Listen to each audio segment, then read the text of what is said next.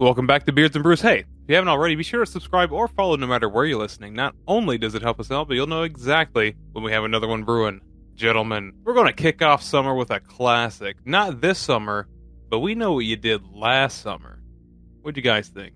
Well, if we're calling each other out on what we did last summer, then I shit my pants.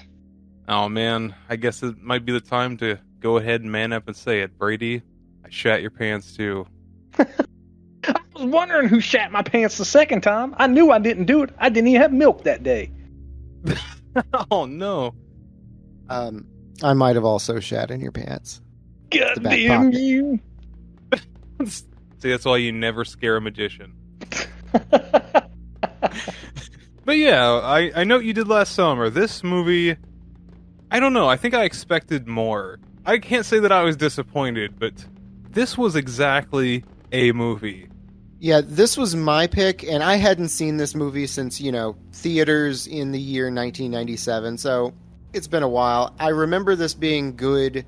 It really isn't. yeah, I sat down with the wife, and it took us two goes to get through this. And this is right up her fucking wheelhouse. This is her type of movie. And we sat down and just went, I'm not sure where this is going wrong, but it's all going wrong. It's got all the hallmarks that you need. It's got four really pretty people that are gonna look good dead, right? You got a writer who has already had success, the same writer from Scream, which I'm sure is gonna come up a lot during this. So, what more do you need? I think it's because it was made in response to Scream, like in less than a year. They kind of farted it out. But we kind of reached this level where it's not particularly awful, but it's not particularly any good. It's Yeah, almost like uh, they saw Scream, they're like, okay, Wes Craven, smart guy, he's onto something. But then they go ahead and try to tear it apart and put it back together, but Scream itself is a teardown of horror already, so when you rearrange a rearrangement, you're left with what the first thing was trying to satire to begin with. It's weird. Yeah, there's there's no feeling of satire in this. It's all meant to be taken serious and you can't because you're waiting for like those goofy moments that just never come, those moments that would make it stand out. And they're not really there. The the biggest payoffs we get are Jennifer Love huge tits. Yeah, I think a lot of uh, what makes this fail as sort of like a response to Scream is, like you said, Scream tore down the genre of horror, but and all of those references in there were very like upfront. If there were homages or anything to classic horror in this, like Scream was supposed to have, they just come off as just cliche. very much so. Very much so. I know spoilers, we're jumping way ahead. But the big reveal of the killer after we sit through an hour and 40, which, oof, after you sit through an hour and 40 to get the reveal, you go, Are you fucking kidding me? Like, And the first twenty minutes are actually pretty decent. Uh, Yes. I, I was I was Maybe. engaged at least. Uh, you were wondering where this is going, like even Maybe- through the the like uh, the car scene where they actually hit him, and then after that it's just like, eh. Well, personally, I feel like that took a little too long. I mean, like in the first movie, they did the whole bait and switch with Drew Barrymore and stuff. Spoilers. True. And it was a whole 10 minutes. Like after this entire beginning setup was finished, we're like almost 24 minutes in. That this is almost an hour and a half movie. It's such a large chunk. So what that does, it makes like the middle bit feel like a huge slog because since we no longer have the subversion of our expectations with like how this movie's put together, it almost feels like they're trying to subvert our expectations by not subverting our expectations. It just plays flat out. I can see what you're saying. You get the bare bones minimum glimpse at who they are, and honestly, they're all unlikable. I didn't care for No. any of these characters. Okay, Those Jennifer Love. Hewitt's character to me isn't completely unlikable. She is very pretty, and that I can helps a think of two though. reasons you like her. Come on, uh, Pretty big, yeah. Come on, yeah, Jennifer, you got the whole package. It's not just uh, okay, but everyone else, Ryan Phillippe, Sarah Michelle Gellar, Freddie Prinze Jr. They're all just there, and they're all kind of assholes. Yeah, it's just they're all very just reminiscent of 90s horror. They're just all caricatures. Yeah, like Buffy is supposed to be like the the pageant girl. Ryan Phillippe is like the the meathead boyfriend, and Freddie Yeah. Prinze Jr. is like, I don't know, the one of them that didn't grow up rich. Yeah, he's kind of like the outcast, kinda, Yeah. but they only really had one like little disagreement by where they are in society. Yeah, like he's supposed to be like different from them, but really he's just like a tall, attractive white male. Like poor you. what kills me is that he's supposed to stand out. You know, he didn't have the the rich upbringing, he didn't have the civility that these other people are supposed to have, and he's the biggest fucking pussy in this movie. Fucking Yeah, Proto JT chokes his woman in front of him, and he just stands there.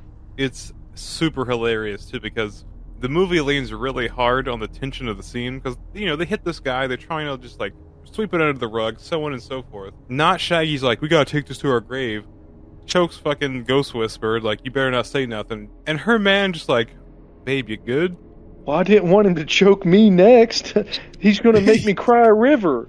Oh, oh no I, I do have him down as Wish.com Justin Timberlake. Uh, so yeah, after they strike this guy and kill him, maybe I don't know. Um, our boy Leonard from Big Bang Theory shows up, who is like quite Yeah. obviously hot on Jennifer Love Hewitt's character, um, and that's like his whole thing.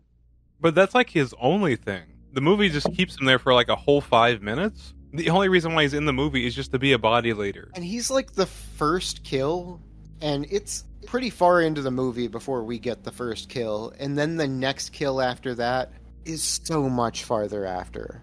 Like for And for he- this being a, a slasher horror movie, there's not a whole lot of slashing. Well, there is like a little bit, like in the literal sense, it's kind of silly. But before the cast, we mentioned that like there's a bit of like indiscriminate killing of innocents, and it Mhm. kind of like shakes the movie up a little bit. Like these people are clearly adjacent, maybe friends, whatever, have nothing, absolutely zero to do with what happened, and then they're just used as I don't know cannon fodder, but like not even in a clever way. They're just like, oh, they're dead. I guess we might be dead later.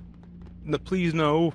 Yeah, Yeah, they so- just they just needed more characters to kill because they didn't want to kill the pretty people yet. Yeah, so um, I think we can go ahead and spoil it. Everyone who is listening to this has either already seen this or will never see this based on this review.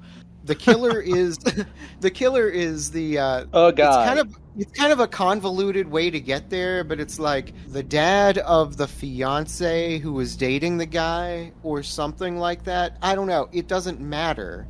They're trying to explain who he is to us. And in your head, as most thrillers and action slashers would go, it's someone we've met. It's someone we know. Someone you care about at all for any reason. Or at least had an inkling, just like even an idea, anything. This guy just shows up and it's like, wow, it's Ernest. What? Yes. It's that guy over there. It's 110% that guy. And I know that they probably thought it was clever at the time, but it's one of the dumbest reveals I've ever seen in a movie because they do not tell you that this character even fucking exists. You get Yeah. no inkling that he is anyone or anything. And then suddenly, uh oh, who's the killer? This guy. And you go, who's that? And if the movie has to explain to you who the killer is, not just by revealing them and you going, aha, I knew it, or, oh, I was thinking it was this guy, you got me. But you just go, I don't know who the fuck that is. He was never even in the movie. Well, it's just like Crystal Skull. Who the fuck is Mac? And who the fuck was that guy in this movie? Slicker Yeah. Man. Well, see, that's the thing. That's how you know this movie is just piggybacking off of Scream. A hundred percent, because they got to the end and they're like, okay, the person that makes the most sense can't be him. So they're just like, opposite end of the spectrum. Bloke. Got it. All right. Yeah. We we got to make this good. Who is the least likely character in this movie that could be him?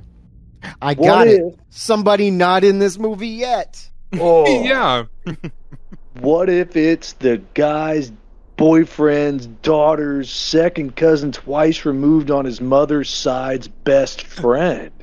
Makes no fucking sense.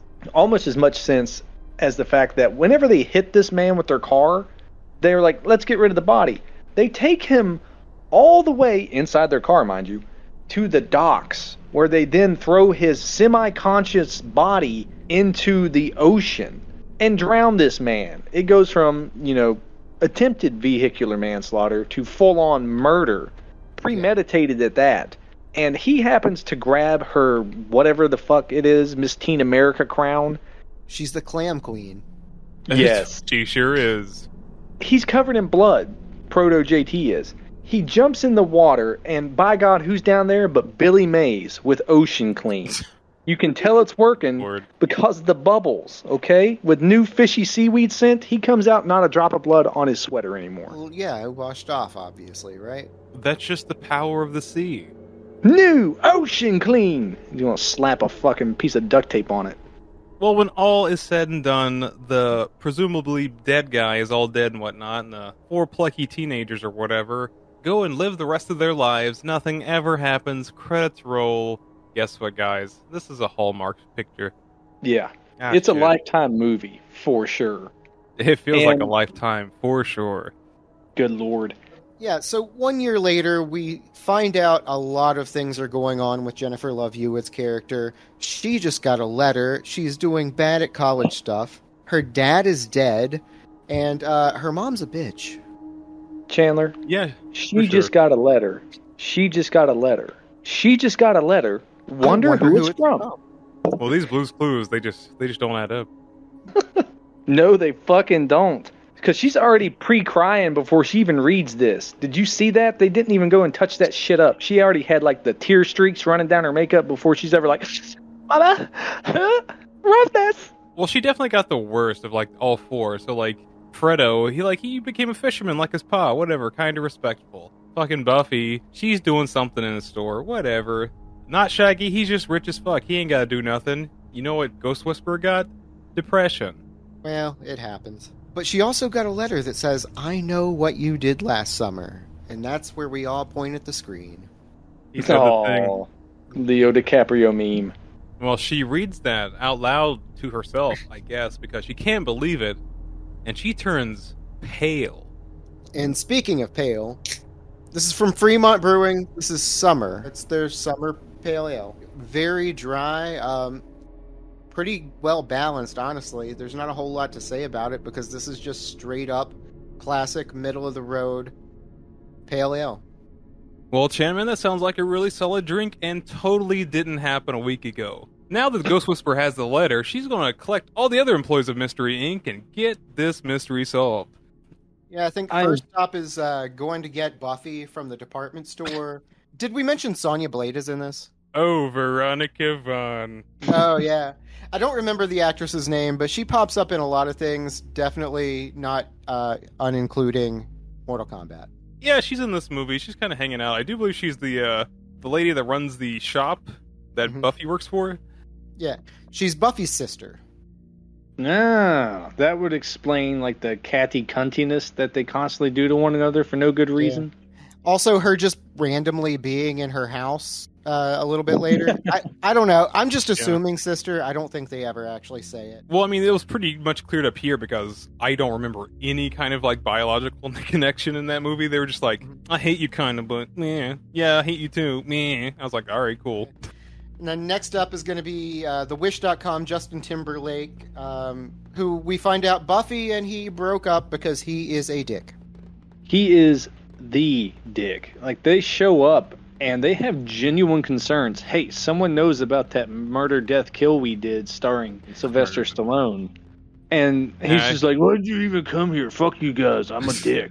Yeah, he's just like a trust fund baby, just up on his balcony, just living shirtless in the summer. kind of a life, isn't it? I mean, they had to give him some kind of dramatic angle, like, "Oh, it didn't work out. Maybe they'll get back together in this movie. Tune in next time, kids." And but in reality, it's just like, well, he's just kind of cannon fodder, right? Just with the little ramen hair. Little squigglies. no nobody wants that guy. That's why like earlier he almost got ran the fuck over. I had flashbacks to like Prometheus or some shit. So like, yeah, they try to get the mystery team together, and then good old Murder Man catches up to Justin Timberlake or what have you. And so there's a thing where like his car, the car that quote unquote killed man, is like his baby. It's a Beamer, whatever. it gets kind of stolen and then tries to run him over, but in no way, shape, or form did he have the idea of just like going to the left, or better yet, going to the right. Yeah, go anywhere. Well, he did go somewhere. He went through the entire faux storefront. Yeah, I don't even know what kind of building that was. It just looked like a load of lumber that had been like tacked together for someone Yeah. to to fall through. I'm gonna call it one of the boxes from Crash Bandicoot. Ooh, I like that. Ooh, ooga booga and everything. Actually, that might have been that might have been what saved his life because like the dude was on the ropes. He's like, "Ah, I'm right here, kill me," and the guy's like, "No, I guess, peace."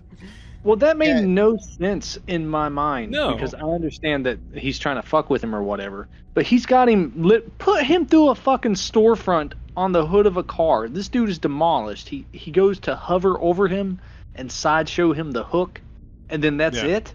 That's actually one of the biggest drawbacks for this movie for me. This is what, like a almost a two hour long movie, and we don't get a main character kill until about 25 minutes left. Yeah, there's almost nothing of any danger or risk or like reality actually happening in this movie, at least to the characters that we care about, and I only care about the one with the boobs. but like, but while all this is happening, the movie's like, you know what? We gotta have a B plot because we're only running ninety, maybe hundred minutes. Mm-hmm. So we gotta have the ladies do something. So they're doing some investigation. Like this is the part of the movie where the main characters crack down. They're trying to like figure everything out, but they just. I don't know. It's like it doesn't feel like it's in depth enough. They just kind of go to the library, look at some newspapers, like, yeah, it's that guy. It Yeah, has the- to be that guy because Creole Anne Heche living out in the fucking bayou with Bobby Fuck. Boucher, and they're like, I, I, I just wanted to visit and ask if you had a cup of sugar, and she's like, I'm gonna tell you about my whole family history and how my brother done went and killed himself. Yep, my car's Yeah, broke yeah, down. yeah. Well, I can fix it for you. No, that's all right. I'll just let me use your phone. it's just one of those things where like the movie thinks it's real fucking clever. I was like, ah, this is n- so not a red herring. Wink. And you're just like, ah, man, you're literally wasting my time, aren't you, Anne Heche? And she's just like, hey, yuck. That's all I'm in the script Dude. for. Hundred percent, because they're trying to give you those clues, like the red herring, as you said, trying to give you those clues that point to get your gears turning, but they don't turn at all because the information you get doesn't make sense. Because again, the big reveal at the end doesn't make sense. To me, it's not so much that it doesn't make sense. It's just that I know that it's not going to be that simple. We've still got like 50 minutes left in this at this point. Like, it, Yeah. that's too open and shut. Uh, they're going to do some convoluted shit.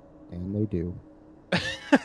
well, the movie spends its time doing just like fuck all sometimes, so you don't really have the room to plant these other red herrings or even like get the audience to suspect anybody the fuck else because what happens next? Oh, Buffy gets her hair did, kinda. Oh, the Uh, red herring. Oh, the red herring I was going to talk about is the fishmonger Leonard who finally gets bazingaed. I don't know if we covered that a little bit earlier. but Oh, jeez. really Yeah. does. He- honestly, that was kind of cool. Uh, I guess it's in the back of what Buffy's car or uh, yeah. Jennifer Love Hewitt's car, one of the cars, and it's a body back there. She just starts hearing like little tick tick tick tick, just little sounds, and she opens up the trunk. It, it's old boy and a bunch of crabs. Now, whenever I saw that, what I, I don't want to say it made me angry. What got me so confused and had me laughing is she runs off to get help, as one should. You should run away and get help.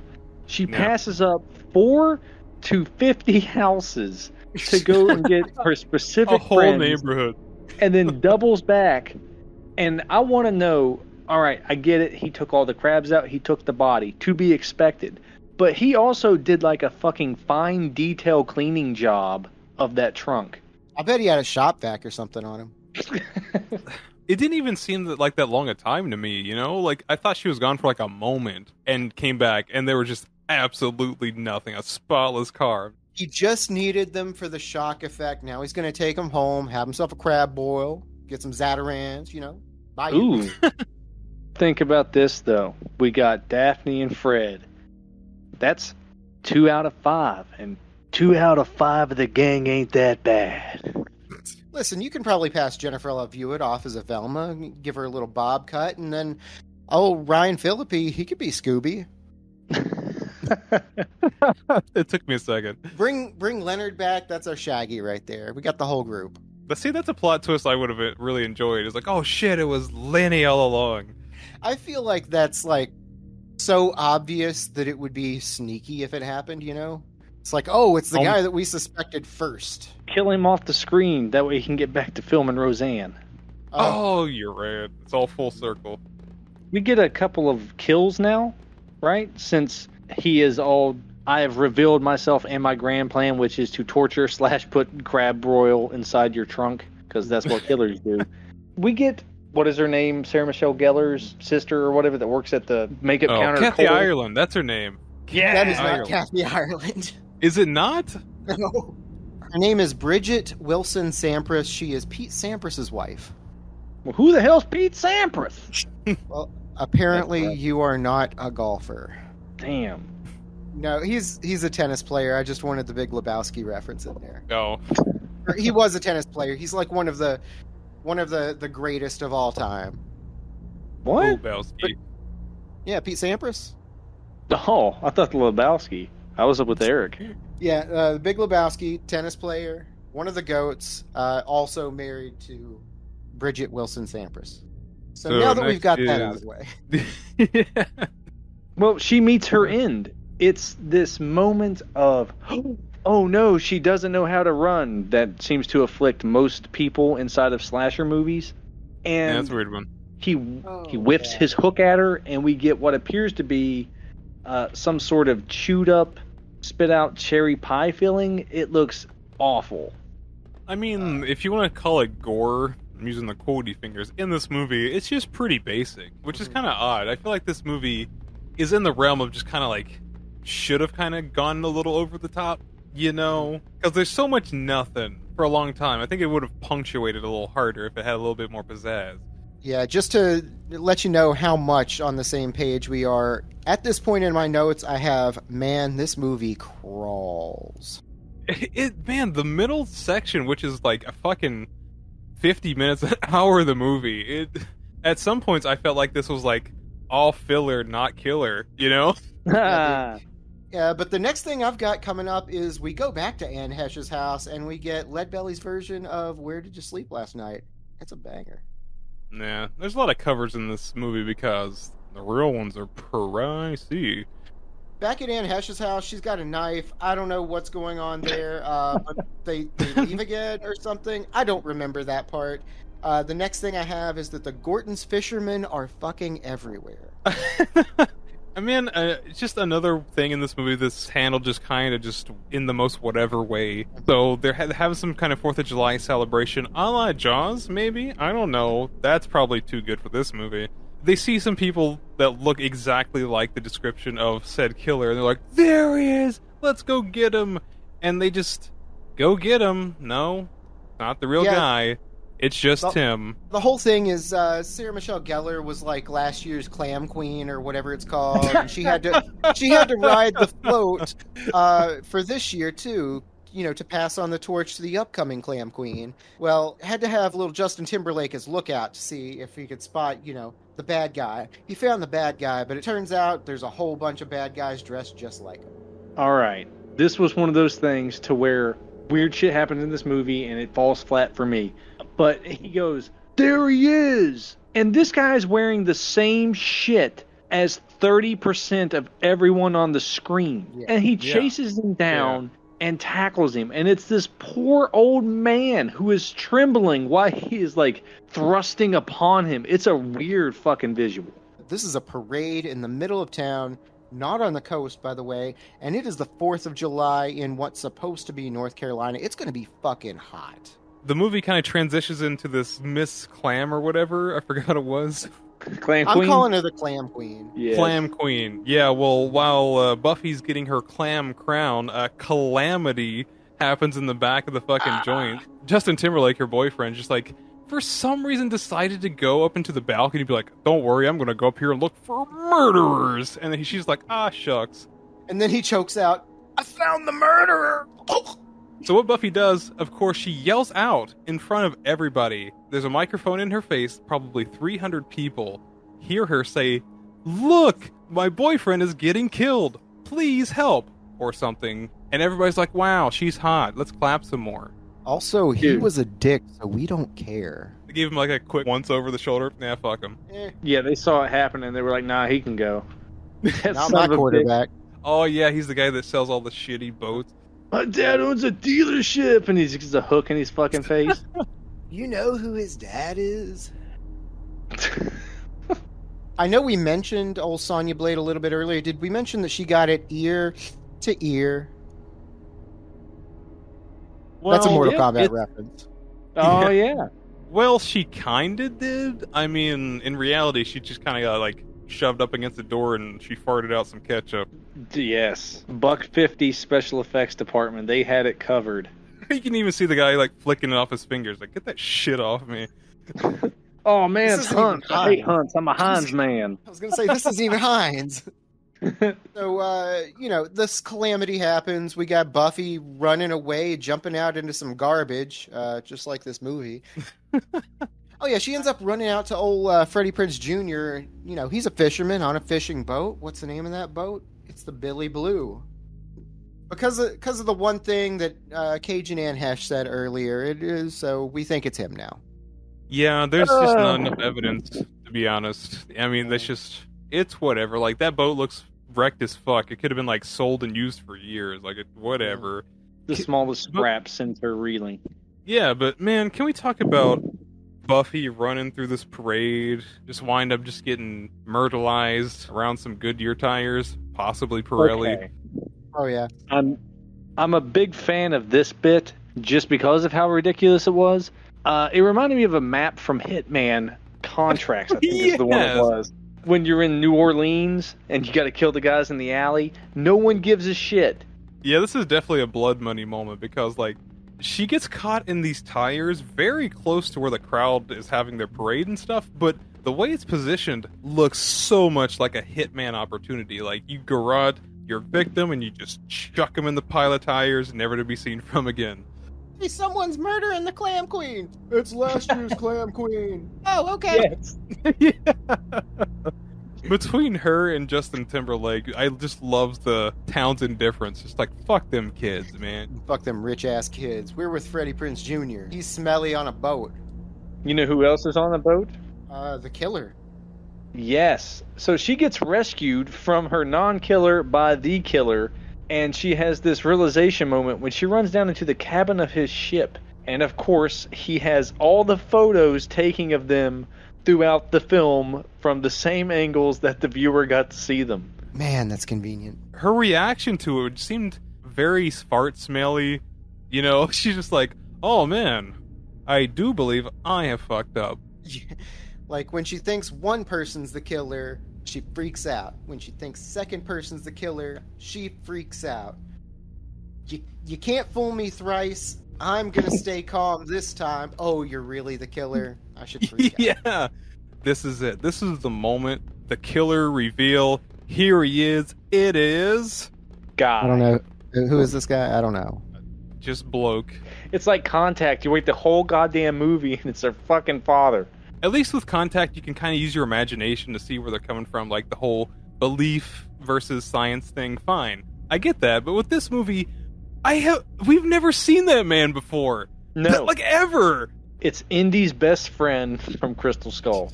God, fuck Mac. uh, Freddie Prinze Jr. comes in. He's going to do some swashbuckling. Oh, this is how. I I don't care about this. I don't care about. We're Yeah. we're done here. The big thing was who's the killer. Found out who the killer was. There's probably going to be a sequel. Tell me in the credits who fuck it. survives. Yeah, Tell me I in mean, the credits who survived. Yes. Yeah, we get like a little idea when you leave a guy for dead. Make sure he's really dead. Da da da. I, but I don't know. Uh, It's Yeah. not that special. It's such a fucking anticlimactic moment. And then even when they kill the villain, they don't kill the villain. They fucking Oh. hoist No. him up and turn him into Captain Hook slash Candyman and all the other Yeah. fucking shit you can think about with one-handed hook people. well, I'm sure he'll turn up someday. And Ugh, come on. That was also a moment where the movie was kind of reminding itself it was a horror movie. You hook him up on the little pulley thing. Oh, his hand popped off. It comes off so fucking clean. He just goes up, it falls off, and then he two-handedly dives into the water. Pay attention to that; it's pretty solid. Yep. And I guess all that just for the cops just kind of walk on the boat, look at the hand, and be like, "Yeah, I guess he's dead. You good?" He probably dead. Mm-hmm. If that's enough evidence for death, then Chubbs himself was dead. Oh no! It's oh, all Oh, in man. The, all in the hips. Ten seconds later, fucking old girl's got her tits out, taking a shower, on the phone with her man, in a steamy bathroom, and there's a note. I still know. And who jumps out of the shower? Ghostface. Who fucking knows? Yeah, it's just a, a CGI image jumping through a, a, a glass door, a mirror, Yeah. something. I don't know. It doesn't Mhm. matter because that's not canon. It's it's just like that little bit of edge that just turned into cringe twenty years later. Hundred percent. Yeah. I'm right there with you. For me, this movie doesn't lean into one side of the genre or the other. Like you mentioned Saw and, you know, the movies like that. So with Scream you have an actual who done it. With Saw, you know who did it. You just got to see who's willing to do the worst shit to survive. At least it had a gimmick. This movie had no gimmick and it didn't even lean into the tropes that had provided by the genre to really make itself unique. It was just flat all around for me. It's kind of odd for such a copycat movie to be so goddamn clumsy, but there's really nothing here. There's really no nutrition to enjoy. You don't think there's any nutrition in this milk toast? Because that's what this is. This is a milk toast ass horror movie. It's just the narrative is mediocre, the acting is mediocre, the reveal, twist, whatever is mediocre. Every single kill is mediocre. They played it way too safe, and like this movie is not going to be remembered as anything other than like the movie that that guy wrote after he wrote Scream. Well, there you have it. That was I Know What You Did Last Summer, from a year probably. If you have any strong feelings about the show or the movie, leave in the comment section below. Make sure you hit the like and subscribe buttons. Be sure to bash the little bell icon down there so you don't miss what we've got brewing up next. Get out there and follow us on social media. We're all over the place. We got Instagram, Facebook, Twitter, Reddit, and you can find us anywhere podcasts are available. We got the Spotify, shit, we're on the Apple podcast. I think we even got like YouTube. Give us a shot. We're kind of funny sometimes, and I promise you, even on our worst days, we're better than this movie was. Ooh. Hey, yo, we on threads yet?